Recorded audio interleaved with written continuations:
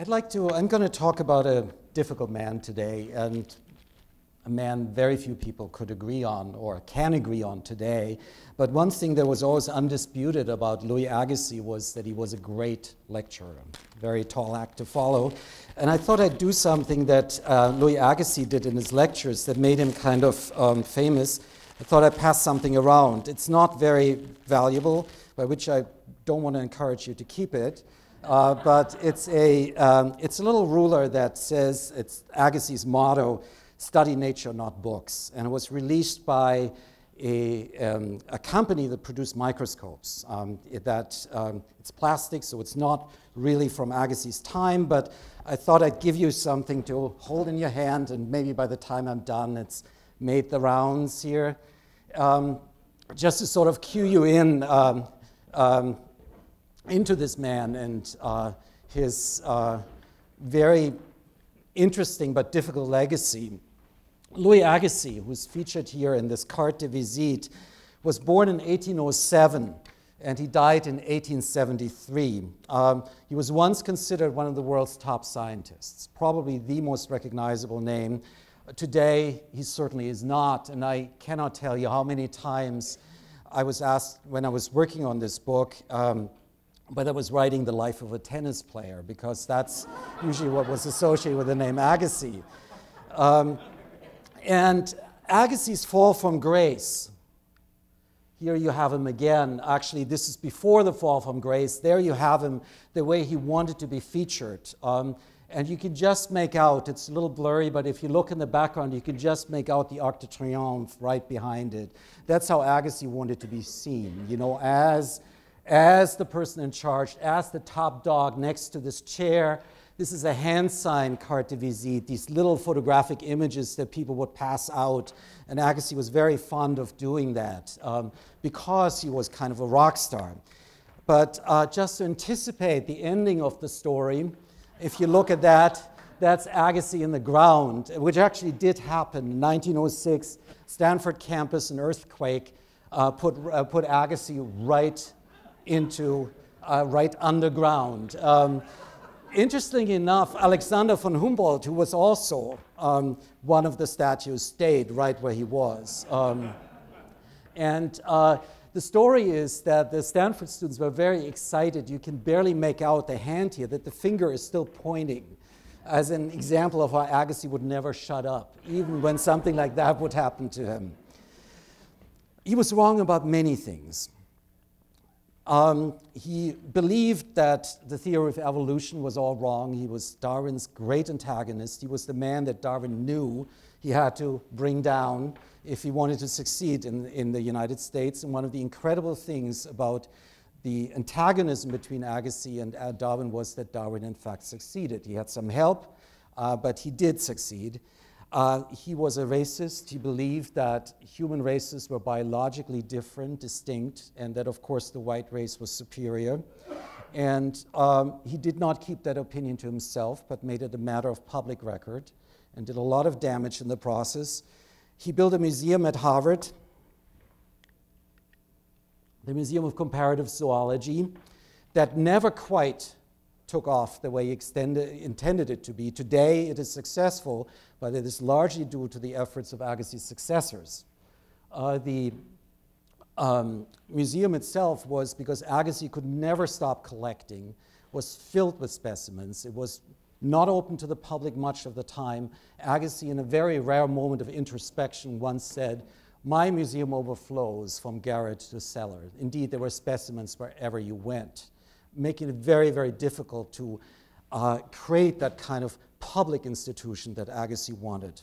Um, so Louis Agassiz, in many ways, and I'm quoting from a, uh, a statement by a modern scientist, Agassiz was a windbag, he said. It was not somebody uh, that uh, we really need to remember much. Of course, there have always been defenders There are several biographies of Agassiz, an admiring early one by one of his students, Jules Marcou, published in 1896, and there's one written in the last century by Edward Lurie, a historian, um, came out in paperback as well, which really tries to describe Agassiz's importance for the history of science. He was historically important, an argument that really has Lurie in many ways running up against walls. If he was so important, one may ask, why do people confuse him with a tennis player today? When it comes to historical significance, Darwin, featured on the right here, has won the battle. So why then write another book about him? It's not like I set out to write a book about him. I worked on Longfellow. I spent several years writing a critical biography of Henry Wadsworth Longfellow, who was one of his closest friends.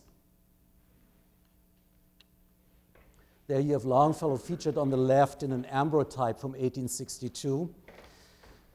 He was friends with Ralph Waldo Emerson, who called him a man to be thankful for. And last but not least, the young William James, in a self portrait that James did from during the expedition to Brazil in 1865, um, where James participated as a young student. Agassiz was the professor who would take his students out into nature, which was an entirely new thing field work, catch nature in the act, as he called it. And he was right there next to his students, wading into the water, um, he, uh, grabbing specimens. At one point, he plunged his microscope into the water because he wanted to be close to the specimens. He didn't want to take them out and then lose that kind of immediacy that he was interested in. Um, he was right next to them, digging through barrels of fish. Um, trying to locate that one specimen that he, was, that, that, he, that he was looking for. He was there hauling creatures from the ocean with a net, his thinning hair with water running down, uh, his forehead glistening with sweat. These are all accounts that we have of Agassiz's activity in the field. Um, he was a fascinating guy for many, as he was for William James at the outset of the trip, the embodiment of somebody who gave everything, everything he had to science and the success of his science. He also wrote very well, as, as I found out if, uh, once I got more interested uh, in, his, in his writing. And I still have a copy of the, uh, the first book that I purchased, secondhand, Agassiz's Geological Sketches, um, which you're welcome to look at afterwards. Um, this is a passage from Geological Sketches, which is just wonderful in many ways. Um, the world is the geologist's puzzle box, he says. And I actually put a puzzle box, not Agassiz's puzzle box, just to illustrate what a puzzle box is. The world is the geologist's puzzle box. He stands before it like the child to whom the separate pieces of the puzzle remain a mystery, till he detects their relation and sees where they fit. And then his fragments grow at once into a connected picture beneath his hand. Um, Agassiz was after that connectedness. He was really convinced that science could take you to a point where you understand everything there is to be known about nature. Um, there's an unpublished little fragment that I found when I was looking at Agassiz's papers about Psalm 8, where Agassiz basically um, says that the power of the scientific intellect exceeds that of God. The Old Testament prophets have been replaced, in Agassiz's mind, by the scientist, who is a much more superior intellect, somebody who knows the wonders of nature and can point them out. Um, there's a passage in this, in this fragment where Agassiz actually writes about death, and death for him is not the moment where insight stops. It's not, there's a great poem by Emily Dickinson where he says, Death is the moment where you no longer see, where, are not, where, where you are no longer able to see to see. That's not for Agassiz. Agassiz says, and I quote, To fear annihilation of the human mind on account of death is it not as weak and puerile as the error of these simple children of nature who thought the sun was extinct when they saw the moon pass over and hid his face at midday? So, the keys to the secret of nature for Agassiz are located in the mind of the scientist. And the scientist is, in a sense, as Agassiz sees it, the King David of the 19th century. His path to that insight was a very circuitous one. It was not one that it was very direct. He was born in, in Switzerland, um, close to the Bernese Alps, in a little place called Môtier. His father was a country parson, and these were people who were kind of limited in their ways of looking at the world, which is something that for Agassiz was, uh, was a problem for young Agassiz. His father once defined, we have letters from his father written to his son, he defines science as a, as a form of balloon that takes you higher than anyone should ever travel. Um, certainly not Louis Agassiz. He wanted him to be a businessman. He wanted him to be a country doctor, to live close to home. And, and Agassiz wanted more, and he indeed succeeded. He left Switzerland, studied in Heidelberg, in Munich with the best of them, ended up in Paris finally, working with the great Georges Cuvier, shortly before Cuvier's death, and uh, managed to befriend Alexander von Humboldt, who became his great mentor, um, a guy who lent him money and would write letters to him that a loving father would write to a son. Um, always, you know, trying to sort of encourage Agassiz to be not so, not so strict about things, you know, to branch out a little bit, uh, to be a little loose, but Agassiz wasn't, wouldn't hear any of it. Uh, Agassiz settled down in Switzerland as his parents wanted, in Neuchâtel, at a small preparatory college, uh, which became too small for him very soon. He spent a lot of time hiking, um, climbing mountaintops, uh, trekking across glaciers, um, very, very outdoorsy. And uh, what he did is something, as he was doing that, what he did is something that became sort of a precedent for future uh, work that he did. He took great ideas that he heard other people talk about and fused them into something that could be his own. And this is what happened with the theory of the Ice Age that is probably most connected with his name, even though Agassiz was not the person who came up with the idea that the world at different stages had been covered with a sheet of ice, which would explain continuities in the record of natural history. Agassiz was not the one who came up with that idea, but he would take these ideas and fuse them into something very, very elegant. And what he also did is he made beautiful books out of it, which became, again, uh, a feature of his work, I have one, actually not uh, the book about glaciers, which is very, very valuable. It's a different one. Um, he had his own printing company, and this is indeed a volume that was produced in Agassiz's own printing company uh, of invertebrate animals, not of glaciers, but you can take a look at it if you like. Um, it's from the 1840s. This is from his glaciers book, Etudes sur les glaciers, 1842, beautifully illustrated.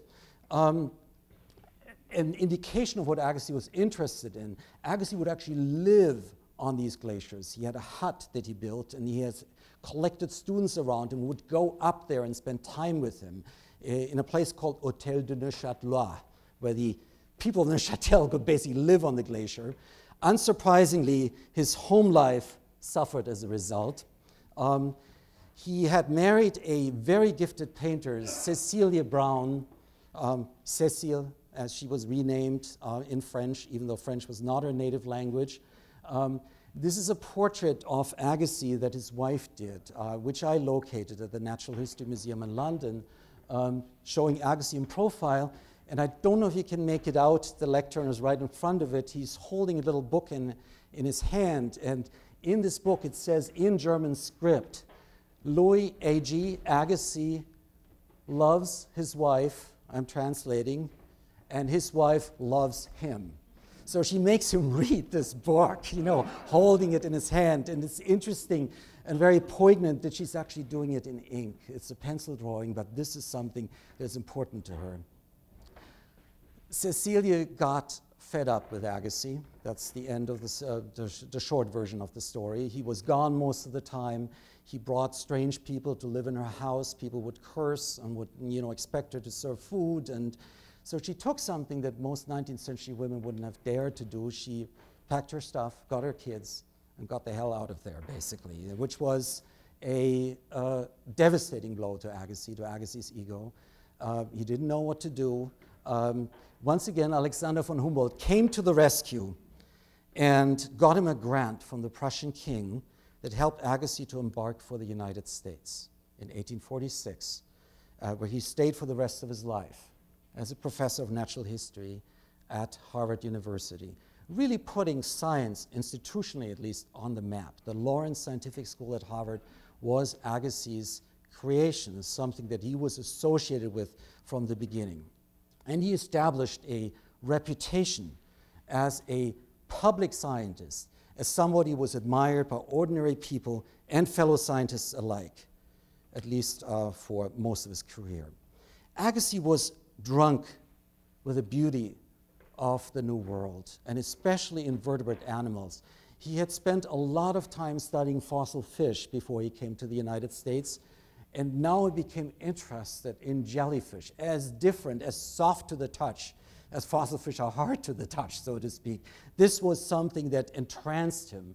And you get a sense of um, his prose when you just look at this little excerpt from one of the first things that he published it is indeed a wonderful sight to see a little animal not larger than a hazelnut, as transparent as a crystal, as soft as jelly, as perishable as an air bubble, uh, run actively through as dense a medium as water, pause at times and stretch its tentacles, and now dart suddenly into one direction or another, turn round upon itself and move suddenly in the opposite direction describe spirals like a bird of prey rising in the air, or shoot in a straight line like an arrow, and perform all these movements with as much grace and precision, and elongate and contract its tentacles, throw them at its prey, and secure in that way its food with as much certainty as could a larger animal provided with flesh and bones, teeth and claws, and all the different soft and hard parts which we consider generally as indispensable requisites for energetic action though these little creatures are, strictly speaking, nothing more than a little mass of cellular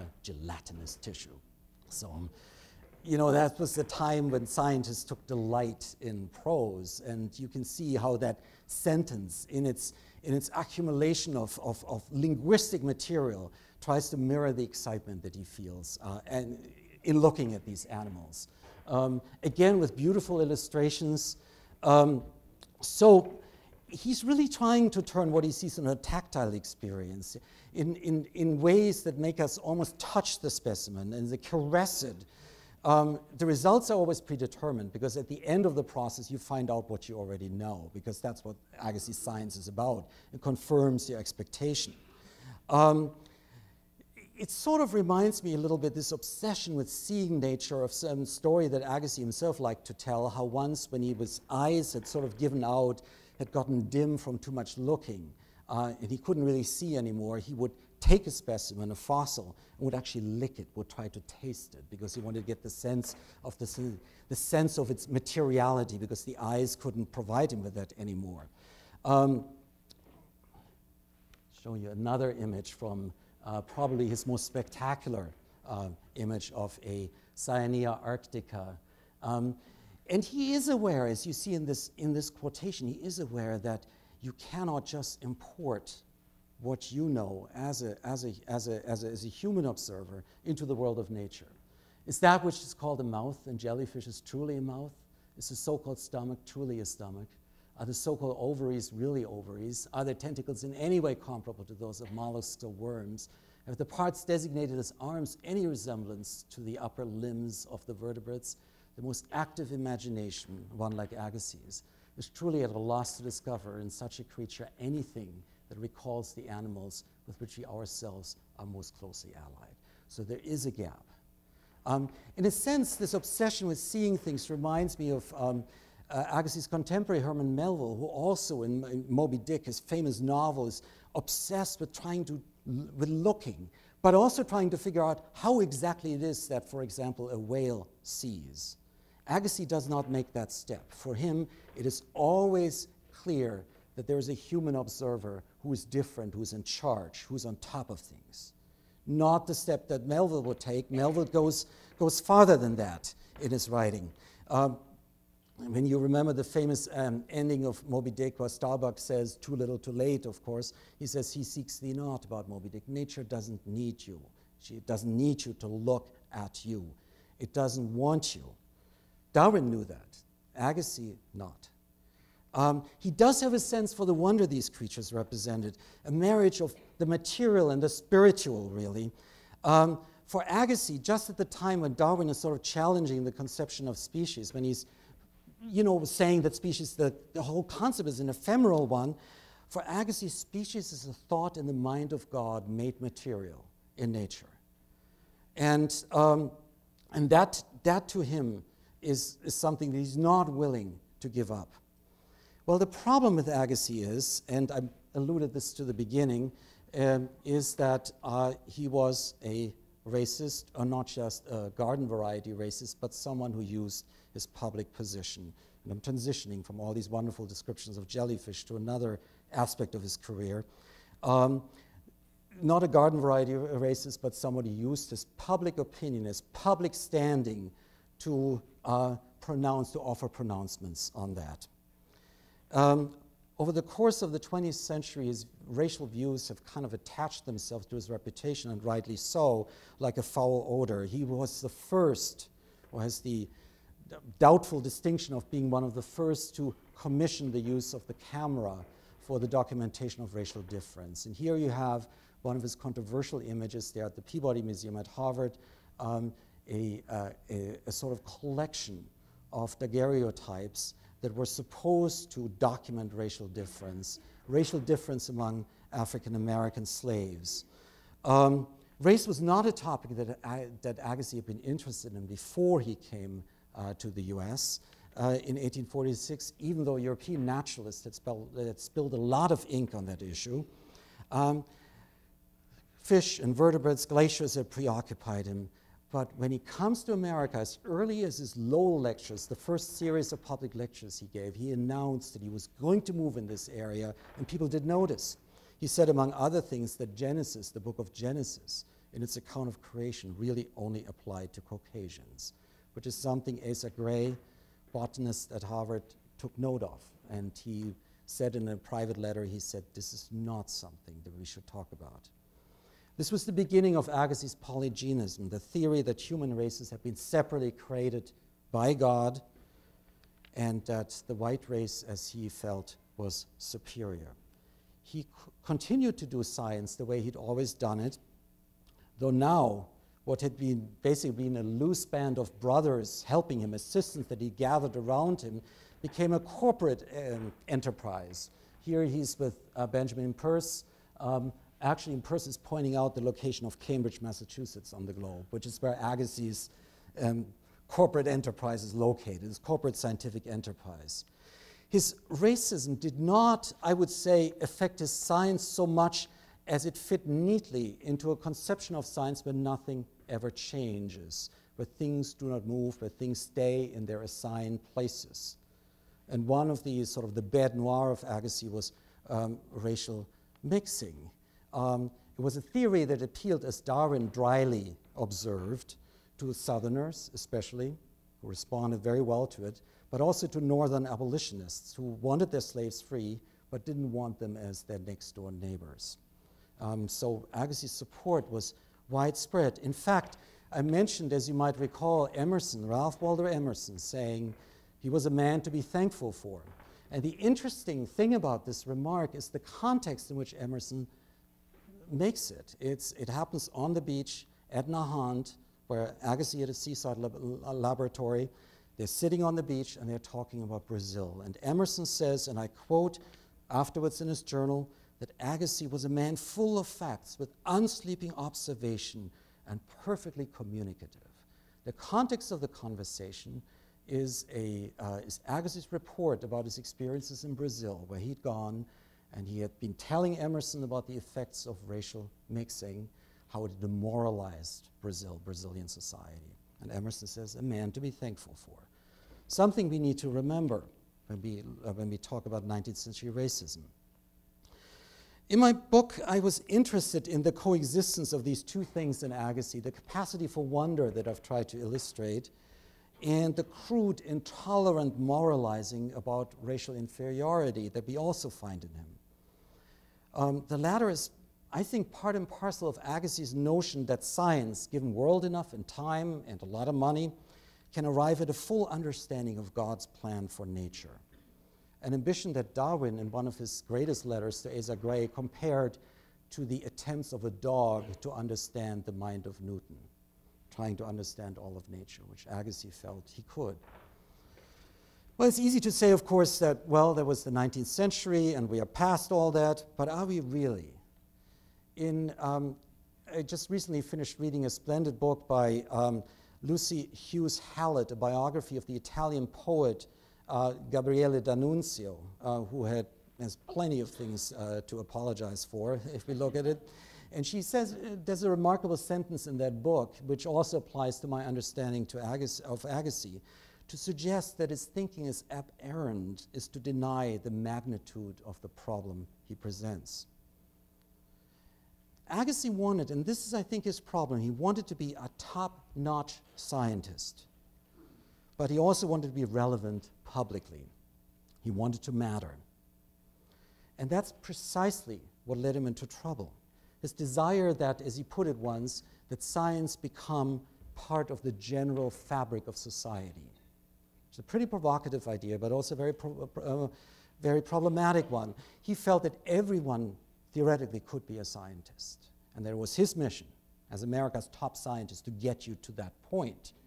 He would write publicly accessible articles, would lecture wherever he could. Um, he provided expertise uh, for Barnum's Museum, for instance. He was not, be, uh, not above that. Um, fishermen, school teachers responded to him. He, in his last year, uh, he convened the um, Anderson Summer School of Natural History, and more than a dozen of the participants were women that he'd encouraged to come because he felt that science also should not distinguish between the sexes. Um, by that time, this is actually an image, um, I left that out of Brazil from that trip in Brazil when Emerson um, and Agassiz were talking about Brazil. Uh, these are images that were um, produced during that expedition, um, which are now at the Museum of Comparative Zoology at Harvard. By the time Agassiz did his public outreach, um, his wife, Elizabeth Agassiz, had become part of his enterprise, and a very prominent enterpri uh, enterprise it was. You see Elizabeth Agassiz surrounded by her stepdaughters. Um, Elizabeth Agassiz's second wife was a wonderful writer. Um, she brought Agassiz's manuscripts into their final publishable, publishable form. She was his ghostwriter. Um, always cultivating herself sort of the stance of the amateur as somebody who was not really a scientist, but nevertheless making sure that the science was always accurate. And she had to find a way to be unlike him in order to make her way as, a, as an educator and promoter um, of women's education. In her prose, and this is where it gets very interesting, Agassiz's authoritarianism is displaced. It be, often becomes a bit of a joke because he's so obsessive. She describes all his peculiarities um, in articles for the Atlantic Monthly or private letters, um, a variety of, uh, of, um, of forms. On Agassiz's last expedition, the voyage of the Hassler, 1871, um, basically a recreation of Darwin's voyage of the Beagle. Elizabeth Agassiz, who's portrayed right here, you see the artist has made, has taken this photograph and basically made sort of a sketch of outlines here. Um, and it's interesting to see this woman prominently sort of in the first row of the groups of, of the group of scientists assembled on the Hassler. On this journey, Elizabeth Agassiz, she writes copious letters uh, to her mother and sisters back home. She's able to see the Fuegians, for, ex for example, as having a humanity even Darwin, and certainly not her husband, would grant them.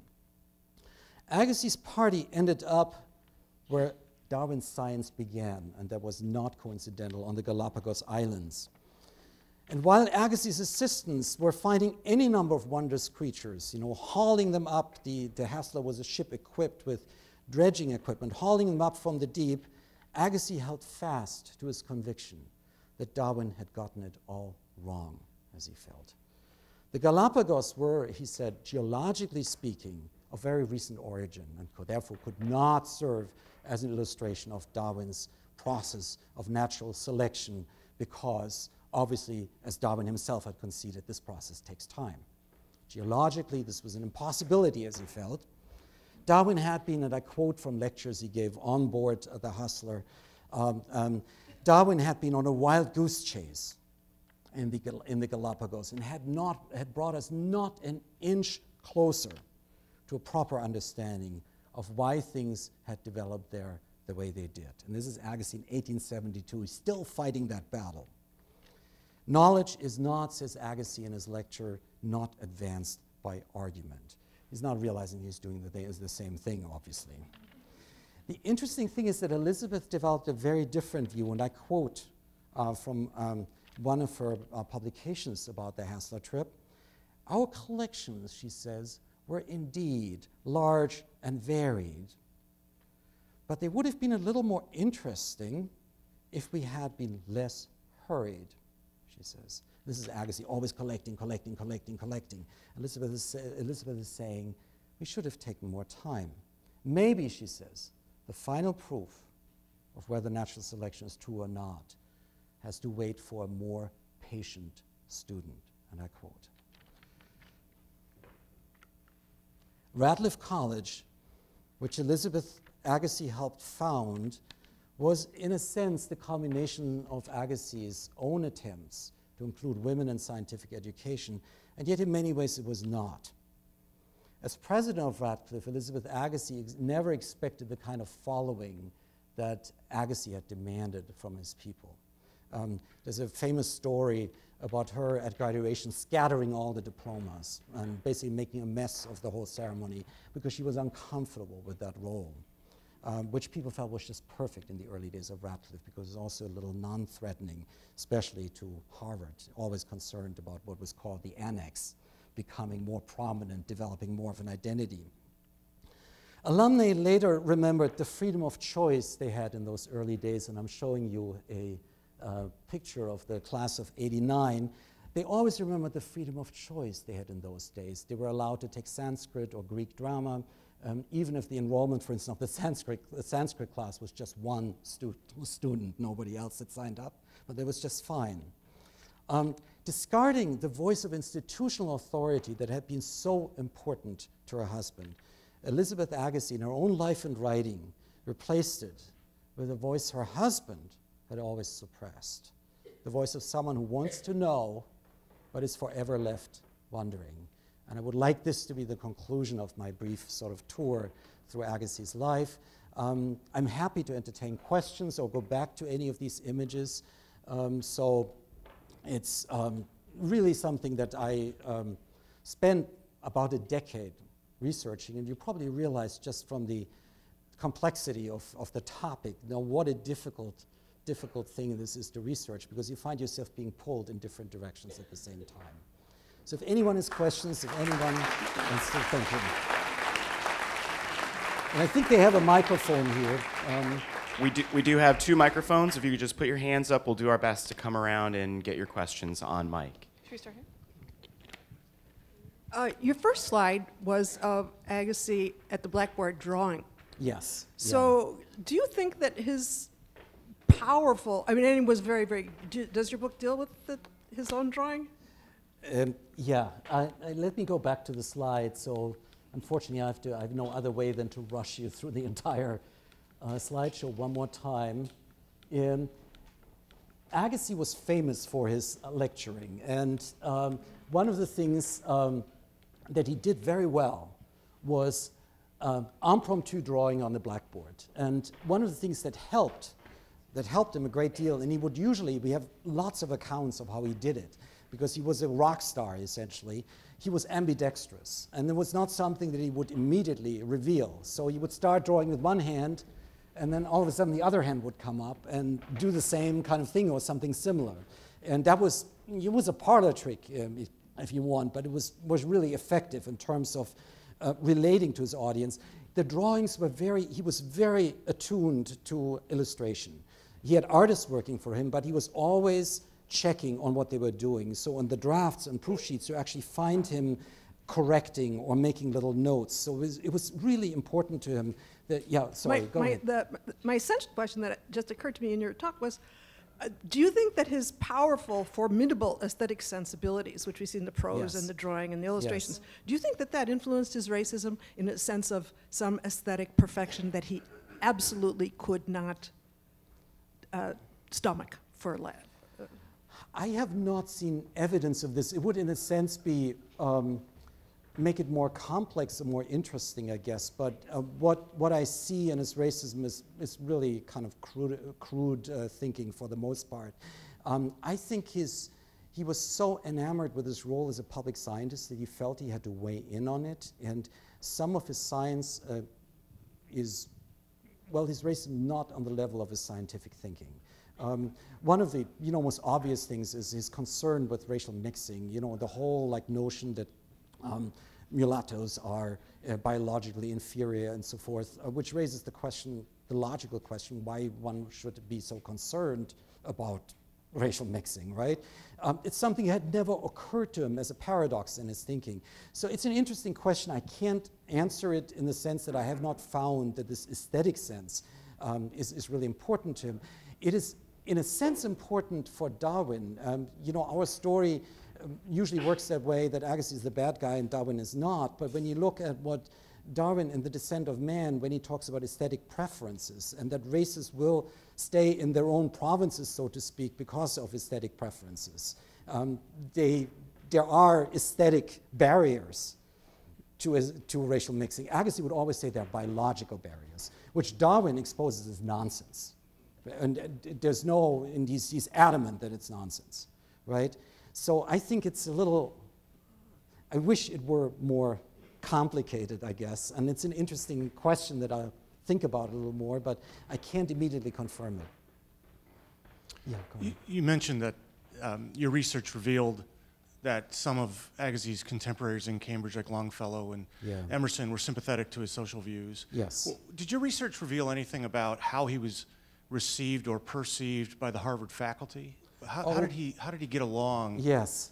Um, one slight qualification. Um, Longfellow was not in sympathy with his social views. Um, Longfellow is probably one of the very few sort of mainstream American figures that I, that I found to be entirely free of the taint of racism. And that was, it's a great mystery why he was such good friends with Agassiz and why he remained so. But it's, it's very obvious in Longfellow's journals and his responses to that part of Agassiz's thinking that he has nothing to do with it. Agassiz was a power uh, wielder, and he was very successful at Harvard to implement this up to a point. One of the part of the story that I left out, but I mentioned Asa Gray as um, briefly, the botanist on the Harvard faculty uh, who was not somebody Agassiz took seriously when he started out there. Agassiz built his power base very cleverly. The museum, the fundraising that he engaged in, people that he got, got hired at Harvard, you know, basically extending uh, the circle of his power inexorably over many, many years. And Asa Gray, who was Darwin's friend and Darwin's supporter, who was not a man that Agassiz felt was cosmopolitan enough, was um, smart enough, to do damage to him, Asa Gray came out of the woodwork and literally destroyed Agassiz's reputation. Over many years, he did so in steps. He would spring parts of evolutionary theory on Agassiz at meetings, um, would, um, would ridicule him increasingly, and would finally uh, also mess with Agassiz's influence in larger professional organizations because um, Gray was not a man who would immediately share things publicly as Agassiz did. He did not wear his heart on his sleeve. He would not always um, reveal. He was a very, very strategic man. And one of the fascinating things of Agassiz's story is that this little man who was a Presbyterian, was religious, you know, taught Sunday school, um, thought that Walter Scott was the pinnacle of literature and so forth, uh, that this guy would basically be in a position to do that kind of damage to him. And he would send these hilarious letters to Darwin after he had successfully done something to Agassiz publicly and would say, Oh, Dar- Agassiz walks around Cambridge like a well cuddled dog, for instance, um, because Agassiz was not prepared. He was not ready for it. And so you see his position at Harvard being eviscerated. When he died in 1873, he still got, you know, the fantastic burial. He, everyone attended, the vice president came, and so forth. So things were still in place, but over the next sort of two decades, you see Agus, uh, Gray's work coming to full fruition, and um, he succeeded, basically. Um, one of the slides, I think it was the one with the drawing of the jellyfish on it, talked about uh, yeah. the species which were more closely allied. I mean, how did he see similarities between species if he saw each species as its own discrete packet, I guess. Uh, it was part of a complicated uh, taxonomic system that he developed, where everything belonged to a taxon, where things would be in their assigned places. Um, species have been put, and this is really where it becomes non-scientific, in terms of Agassiz's understanding, have been put into their places by God as, as separate acts of creation. Uh, so even if there were similarities, there were intellectual similarities that had been planned by the divine intellect, so to speak. So uh, quotations, in a sense, in the book of nature that would sort of refer to each other, but not as part of a biological process um, that you know Darwin was so busily identifying and uh, explaining at the time, if that makes any sense to you. Was there any part of Agassiz's early religious education that precluded him from accepting uh, evolution as, as, as, as a means of uh, species differentiation? Yeah, I, um, Agassiz had a, you know, the Calvinist influence was very strong in, in Agassiz' upbringing. Um, I think that um, he dispensed mostly with the religious influence of his family. He was, um, to at least his American contemporaries, a man who was unpredictable in a religious way. He would not go to church, for instance, as even Longfellow observed, that Agassiz is not the church going kind, he wrote in his journal, um, because his God was more comprehensive than any kind of uh, specific religion could fix into place. I think the influence, uh, the main influence on Agassiz' thinking was European. It came out of European natural philosophy. It came out of what he had um, basically sort of uh, absorbed when he, when he went to uh, uh, Heidelberg, Munich, and, um, and the influences of people who, you know, thought in ways that were not responsive to the, to the Darwinian natural selection process, who assumed that there was some kind of creative force in nature um, that, that shaped nature, that, that resided in it, which is something that um, you know, Darwin could not uh, use for, for his science. This kind of uh, metaphysical conception of nature. Um, Darwin didn't need God as a hypothesis for his science, famously. Uh, for Agassiz, what he did and what became so popular in America, I think, resonated very much with the transcendentalists. This is why Emerson liked him so much. Um, the kind of notion that nature is, has the spiritual essence um, that, we, that we see if we immerse ourselves in it. Um, so I think the, the religious influence, the lingering religious influence um, in, his, in, his, in his science is less, in his education is less important for the science that he does eventually. Um, he rejects his father.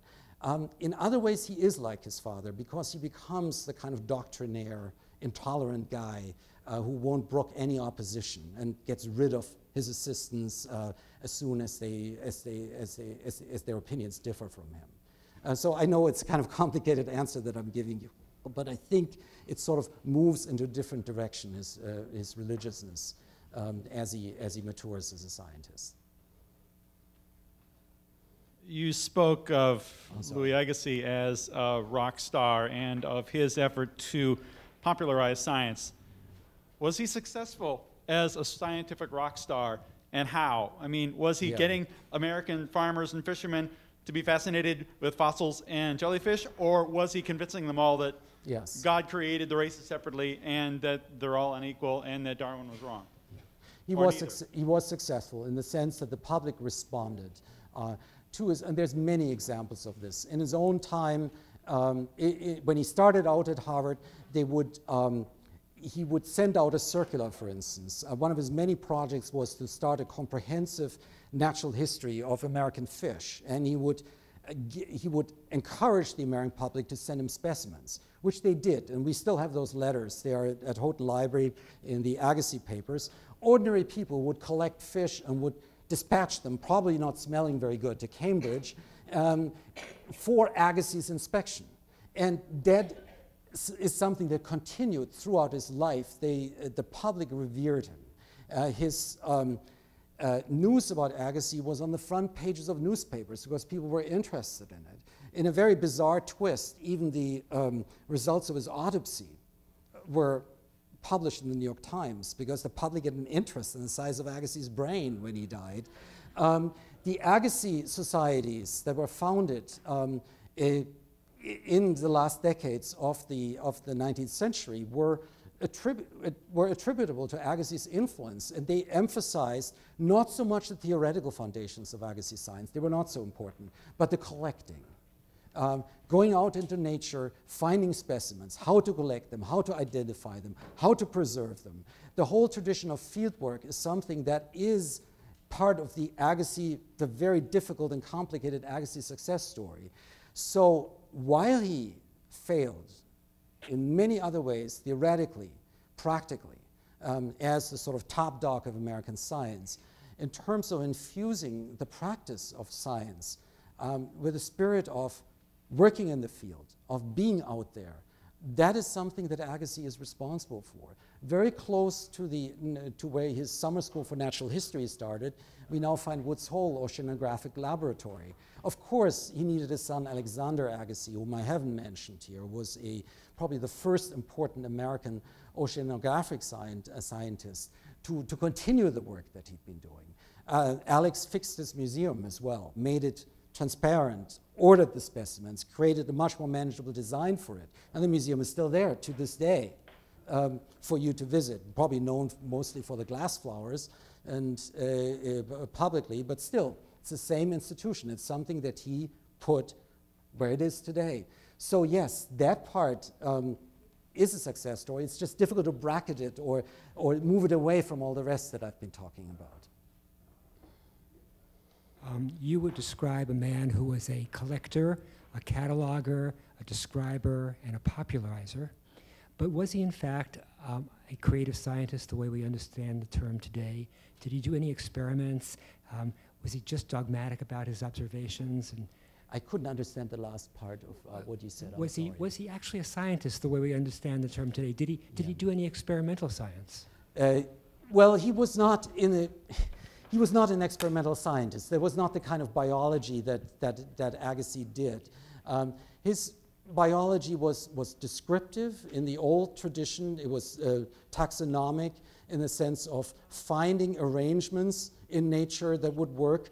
Experiments were not uh, what he, except in a limited way, sometimes he would try out certain things and would see if, you know, a species would survive in different, in a different kind of environment but in the sense that um, you know his colleagues at Harvard um, were beginning um, experimental science, not no.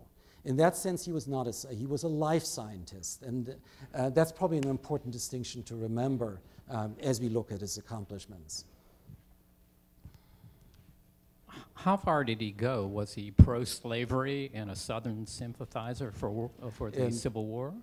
That's a, that's a very interesting, very difficult question uh, to answer. He did say that he was against slavery, and he did say so publicly.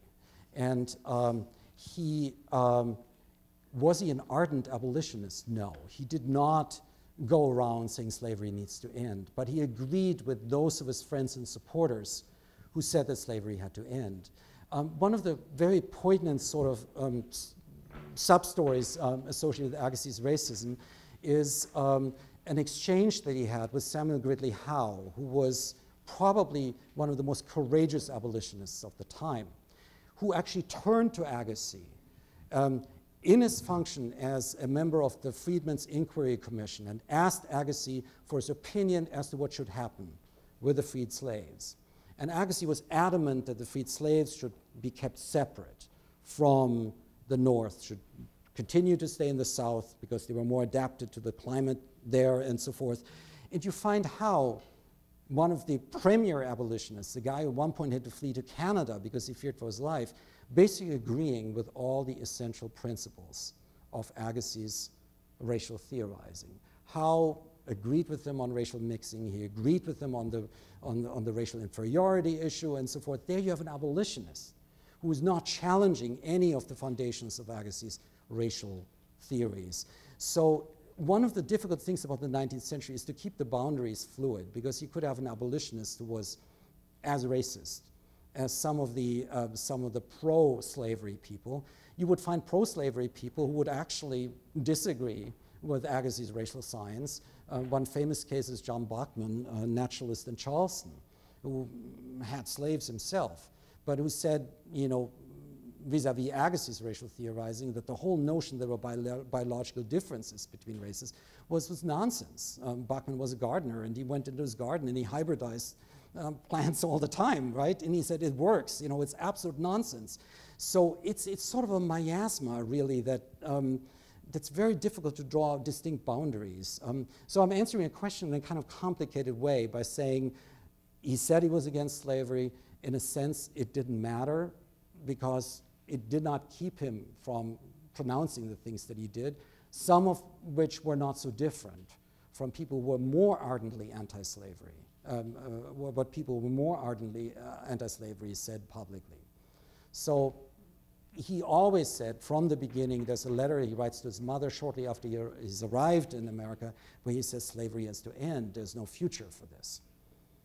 At the same time, in the same letter, he talks about his experience in Philadelphia, where he's being served by a black waiter, and this is a completely appalling experience to him um, as a European to be exposed to that, uh, to that um, that thing which he doesn't want any more of.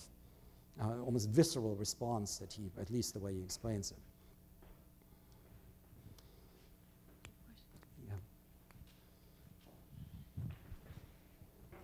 Was there one event or something in his life that sort of put him on the road to becoming a racist? Or, I mean, how did he evolve to that position? Well, there was that event that I just mentioned oh. in the Philadelphia letter, but I think more than anything, what became important to him was as, a, as an immigrant, as a European who had arrived, and believe me, I'm not trying to justify anything he said, but by way of explaining it, um, he felt that it was important for him to reaffirm the bond that united him to other white people in America.